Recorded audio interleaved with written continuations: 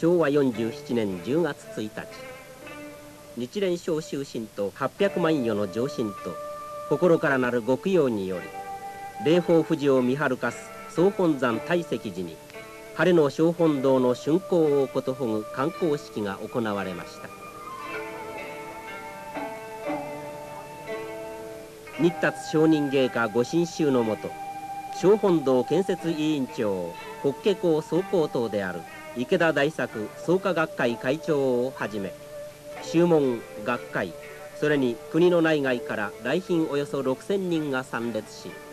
式典は芸家の大同士で度胸正代によって始められました。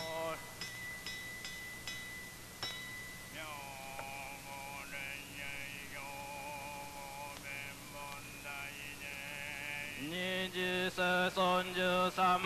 安城に九号車利発勝負地へ人人無料ご知恵門南下南入一切正門百種物小風の地小医者が仏像心が正代が終わると早瀬日蓮召集総監の挨拶北条小本堂建設委員会副委員長の経過報告が行われアメリカのアグニュー副大統領エドワード・ M・ ケネディ上院議員カナダのトリウドー首相らからの祝辞が披露されました。続いて在日外交団団長ベネズエラ特命全権大使のヘッス・マヌエル・ペレス・モラレス氏が挨拶に立たれました。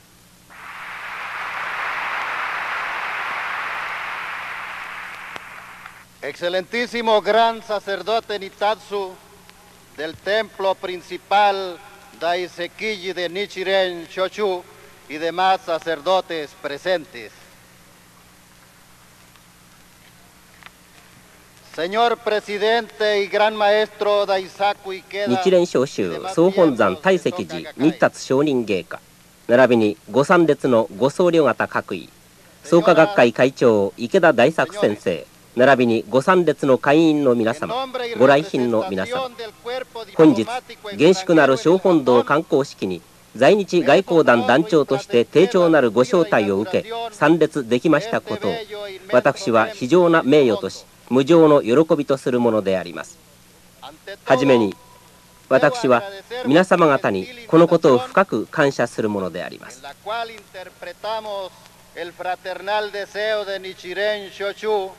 Y de Soka Gakkai de extender sus brazos y elevar su pensamiento más allá de las fronteras físicas. モラレス大使は挨拶の冒頭まず祝福と喜びを述べられた後日蓮大聖人のごとく人類の幸せと完成を目指し人間性豊かな社会の建設と調和と幸せの人生確立を目指している。日蓮召集と創価学会員に最高の尊敬と感謝の念を表しますと結ばれました。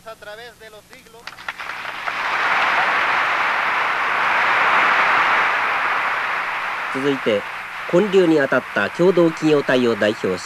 本間貨幣大成建設取締役会長の挨拶です。えー僭越でございますが、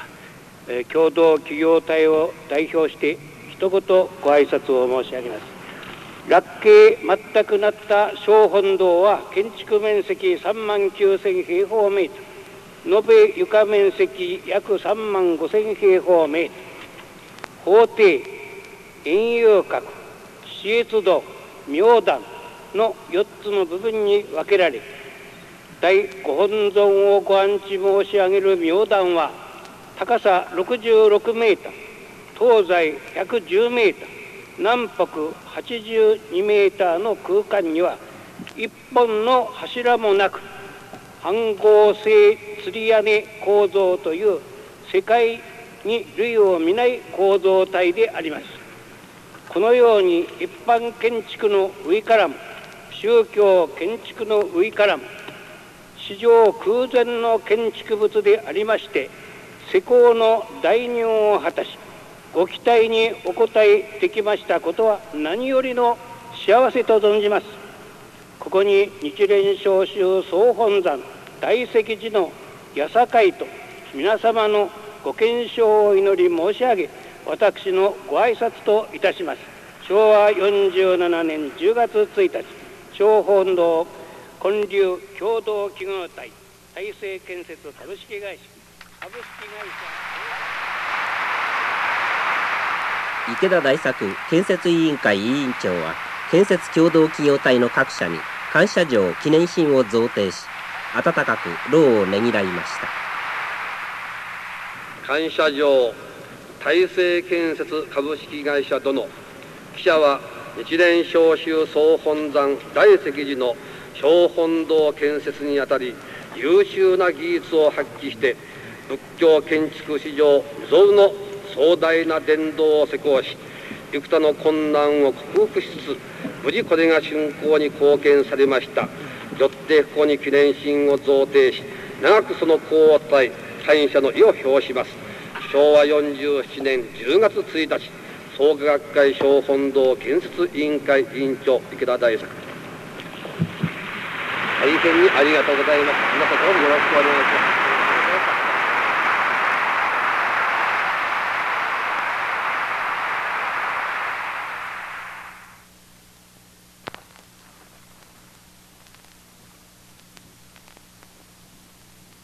挨拶。小本堂建設委員会委員長池田大作先生。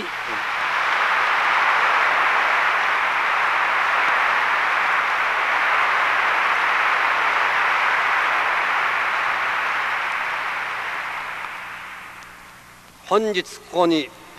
待望差しかった小本堂の観光式を挙行するにあたりましてゴースト商人ご臨席のもとにご来賓の方々はじめ建設関係の皆々様並びに宗門法華校創価学会の代表の方々には遠路にもかかわらず多数この大伝道にご参集をいただきめでたく観光式渡しの正義を迎えることができまして心より御礼申し上げます。誠にありがとうございました。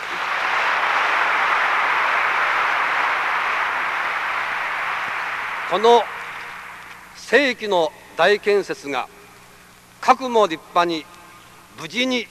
そして期日通りに確固と成就いたしましたことを首相私建設委員長といたしまして極用参加者804万名の宗門人を代表いたしましてゴース承認芸家に中心より敬粛申し上げる次第でございます。この小本堂は804万名の人たちが心からこれを作りたいという念願に燃えて出来上がったものであり端的に言って宗教的権威を象徴する伝道ではなく民衆のための施設であるという点でございます。この小本堂は人類の高級平和と世界文化の健全なる進歩発展を祈願する伝道でありますがその祈願者は総じてはここへ参拝する人全部すなわち人種や農薬男女問わず民衆全体が祈願者でありましてここが最大の特徴を成しているのでございます。古今東西を問わず普通は参拝者は聖職者から祈願を受けて帰るのでありますがここ小本堂は民衆が芸家とともに祈願をして帰るのであります。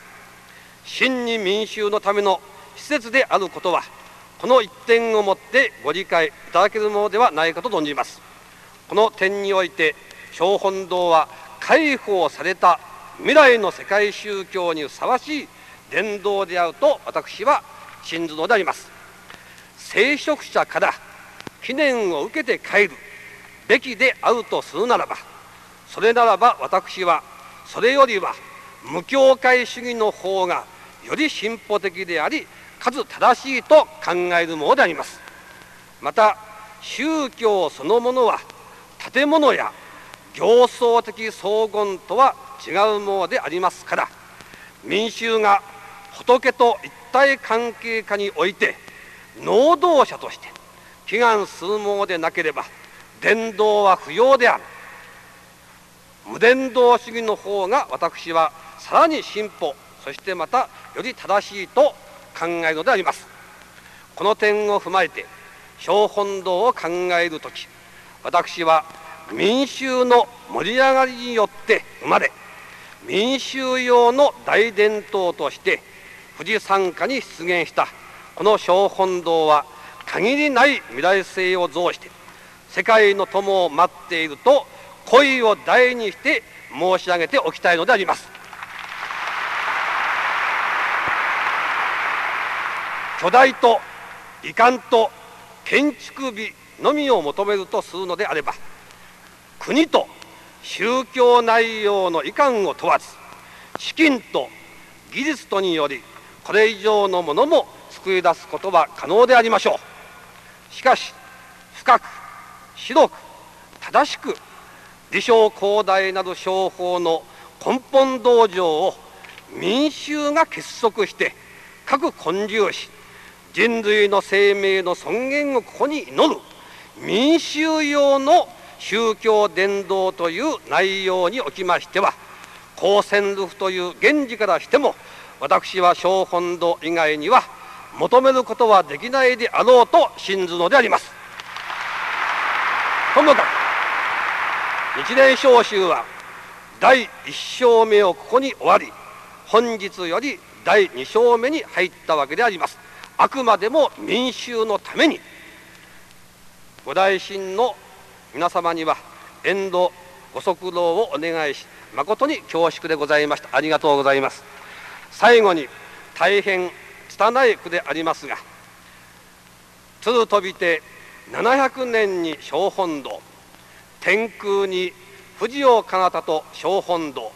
と読ませていただきましてこれをもちまして本日の観光式の挨拶とさせていただきます。